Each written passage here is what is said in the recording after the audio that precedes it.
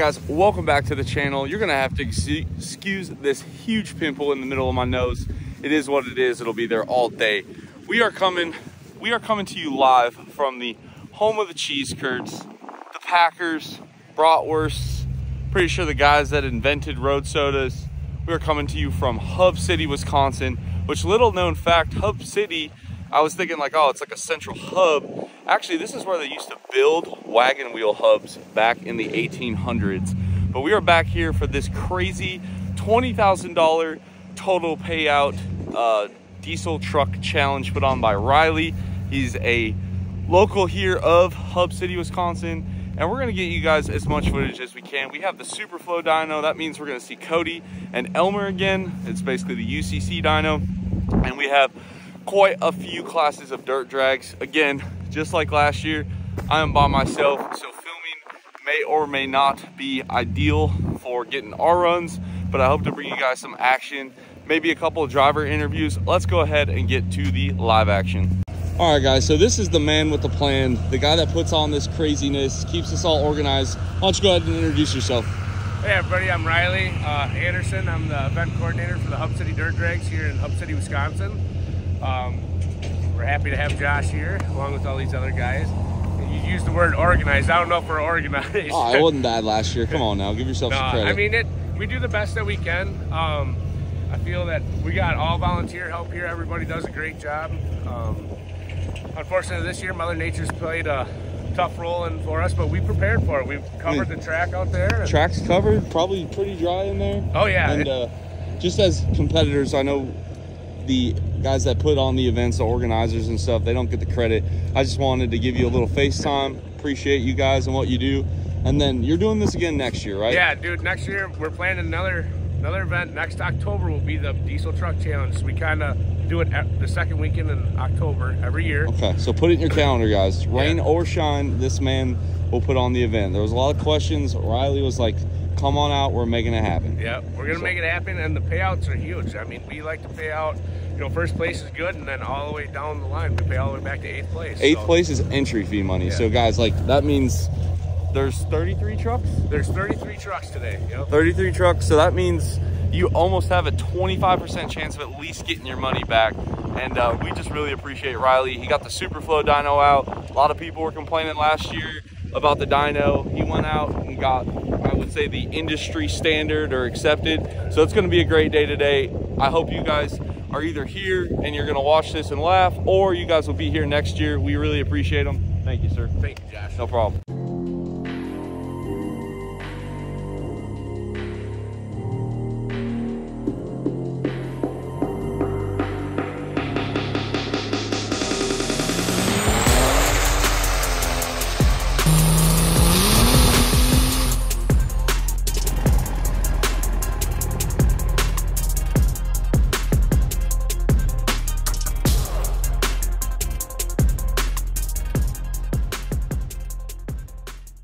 Guys, we're coming to you live from the cockpit of Mr.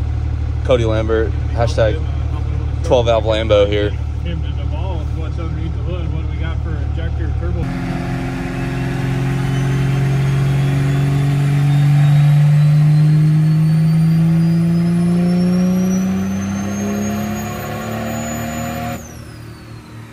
Uh, this is the nitrous hit, guys.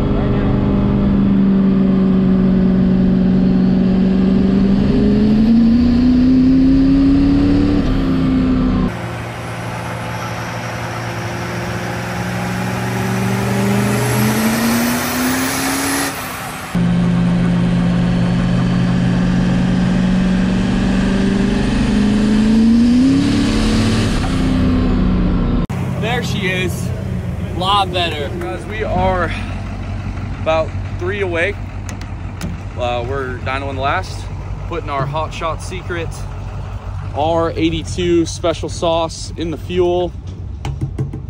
Hopefully that's enough. Uh, we kind of, I don't know if we have enough to beat Austin.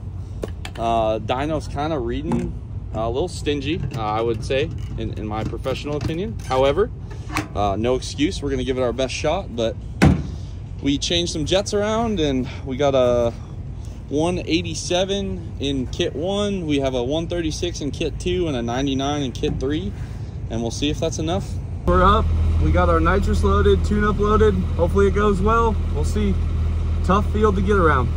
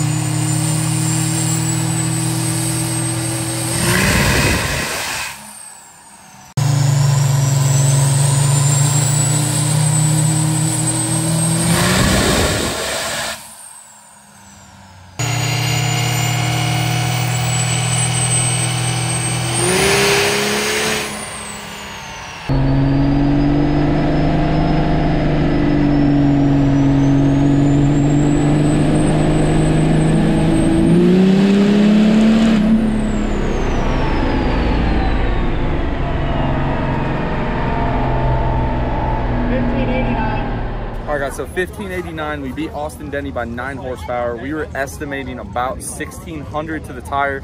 I'm really liking that we're starting to understand nitrous in, fuel in equals X amount of horsepower. Again, these are only 250% overs.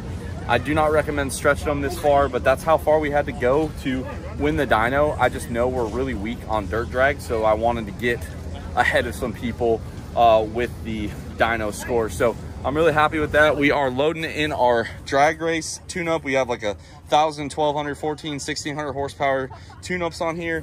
Big thank you to Mitch and all his guys at Driftless. They got us swapped over. We're gonna run Graphs in the rear, STS is in the front, because honestly, that's that's all we brought. So we got that done. Sled stops pulled out, got the truck emptied out, and Riley has this event just running like a sewing machine today. Really, really awesome. Everything's cleaned out. We'll get this tune-up loaded nitrous is fixed and uh, we should be ready to go some rounds in dirt drags. I'm really happy. Guys, so we're working we're working with the best weather conditions. So we got a pretty sketchy shutdown, but it is pretty dry all through here.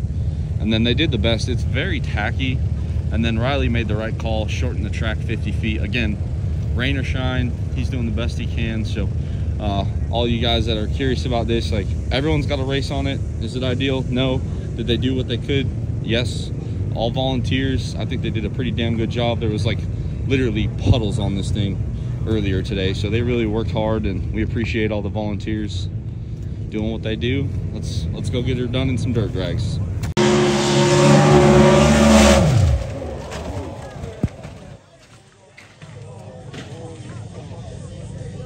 Update, the driver's moving around. They're trying to get all that fixed. I'm not sure what they're gonna do. Obviously, uh, no one wants to see that going down the track. Um, so we'll see what Riley uh, and his crew wanna do. Right now, we're just hanging tight, uh, letting the ambulance get here and everything. But like I said, he's moving around. You know, by the time you guys see this video, obviously you'll know he's okay. But very unfortunate, and uh, we'll see what they make of it. Uh, as a competitor, I trust that they're gonna make the right call and uh, either shorten it or add some more safety or whatever because obviously none of us want to wrap our trucks around trees or concrete or flip them so we'll see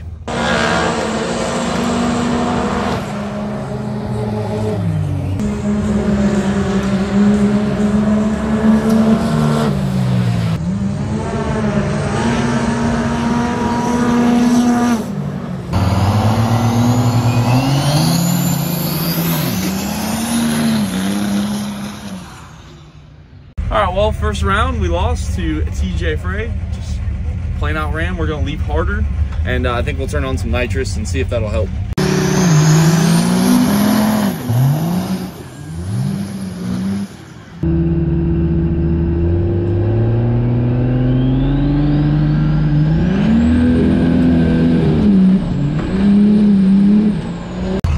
guys, we left a lot harder, had to pedal it, but we got through our first round win. Second so we have one loss, but we've moved on to the next bracket, so that's good.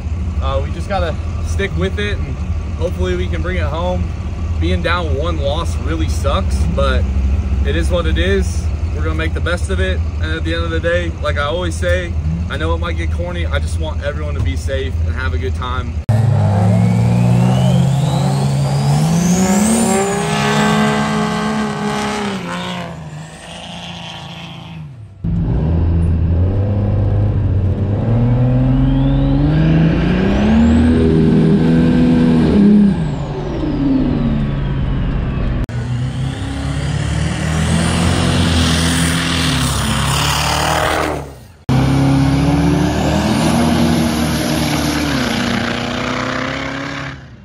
Well, unfortunately, guys, that's the way the cookie crumbles. We lost to Christian Wickman, and I hope he wins the whole thing. But uh, it is what it is. I mean, we just, I think next year, if we come, we'll bring the boggers. I think that's what we need. It just, all it does is spin. So, uh, congratulations to him. I hope uh, he wins it all, and I hope everyone just keeps being safe. We'll try to get you some footage, but I do want to get packed up before it gets too dark.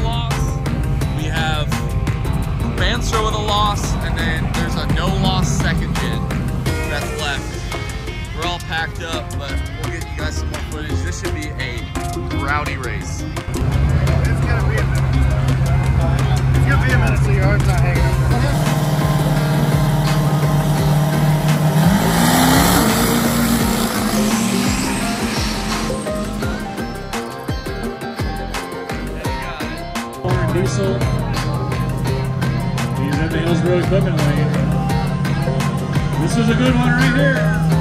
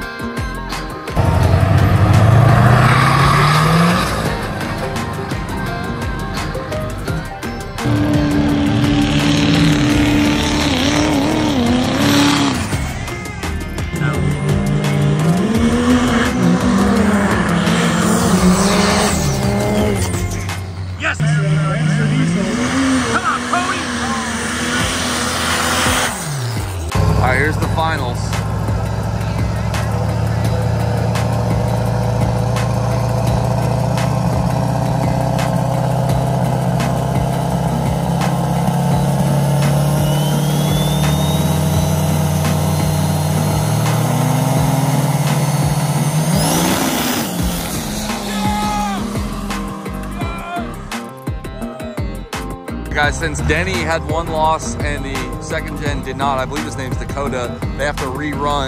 Again, we're if Denny wins, we come in fifth overall. If he wins, we come in sixth.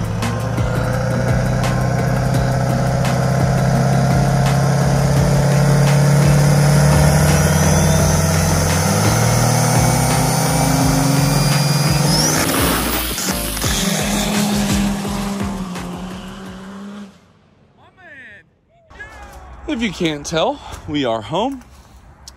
We're gonna start unpacking here a little bit. Uh, just around 16 hours, so long, long, long drive. But now we have the wonderful job of cleaning this mess up. Um, huge congratulations to Austin Denny for first place, Nathan Banstra for second place, Cody Lambert for third place, uh, and then the Rock Diesel. Um, man, had your name, forgot your name. Sorry, but that triple turbo Duramax came in fourth, and then we tied uh, with I believe his name was Dakota uh, for fifth place. So obviously, not how we wanted. Of course, we wanted to win, but it was awesome to watch. Uh, one, two, three. I mean, basically the top three guys took all the took all the payouts and brought it back to their respective states. So um, that's always nice. But uh, I don't know where to go from here. I appreciate Riley and all the volunteers that put on the event, dealt with the weather, dealt with the complaining and all that stuff. Uh, I do appreciate that, especially because it's all volunteer. Um, that's pretty awesome. And uh, hopefully uh, that event continues to grow and grow and grow. Uh, and for, again, for the weather, the turnout was awesome. The food was good. Um, so, yeah, I appreciate all of those guys for that. The rollover on the Pro Mod, that the last I heard, the guy got med flighted out for a spine issue, but the last I heard he was stable. That is all I know from uh, like this point moving forward. Um, as far as the truck, obviously not very strong uh, performance on the dirt drag. Uh, I think at the end of the day, if we end up going back to this event, it's just got to be a lot lighter. Um, most of the trucks there, uh, because the rules, there really aren't too many rules. So I would say we need, just to get to like Cody Lambert's truck, we got to pull 1,300 pounds out of my truck. Um, and then I think boggers are a must because at the end of the day, we can put all the power we want to in it. But if if it doesn't go anywhere, it's pointless. So I think instead of like launching forward on the mud, we were just digging in. So we left soft at first, got absolutely outran because it left under the Chargers. And then I tried leaving hard and it would just kind of sit still and then finally go. Um, so again, I mean, it is what it is. That was the truck we bought and uh, we made the best of it. Uh, dyno though went pretty good. I was really happy on how clean that was, and uh, I'm I'm happy with the numbers. 250% uh, overs, making 1600 horsepower ish on a single 14 mil pump with negative correction factor. That's about as good as you can get. The uh, injectors were obviously stretched very far, but winning first place on the dyno was really cool.